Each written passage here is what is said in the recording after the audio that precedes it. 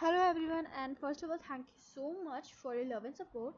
And you like i hope i really i appreciate that you liked my uh, video the last part 2 recent reaction video. And this is a part 2 but i want to talk about these comments that i got to change the gender of a celestial body the moon our moon luna.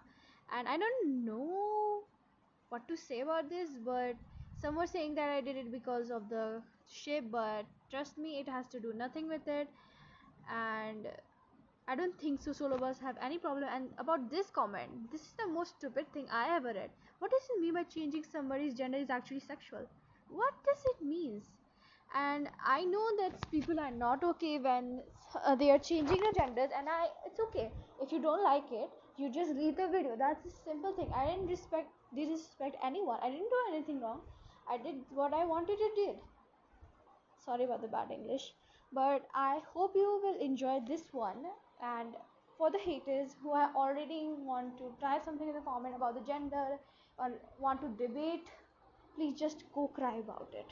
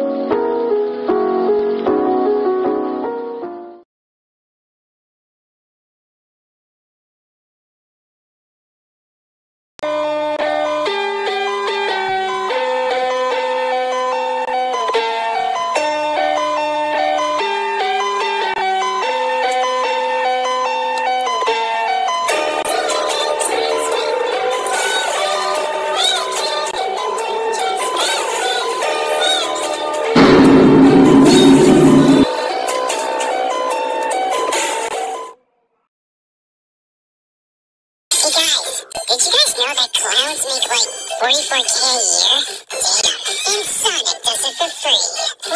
Diamond